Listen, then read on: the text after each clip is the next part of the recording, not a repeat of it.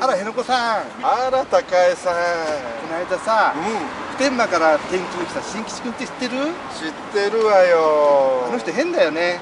変よね。私ね、会うとね、いきなり V サインなのよ。で、VG、VG っていきなり言うの。気持ち悪い。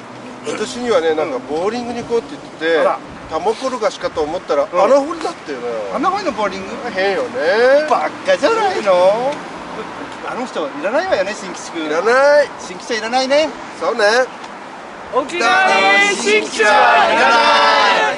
沖縄を返せ。沖縄に返せ。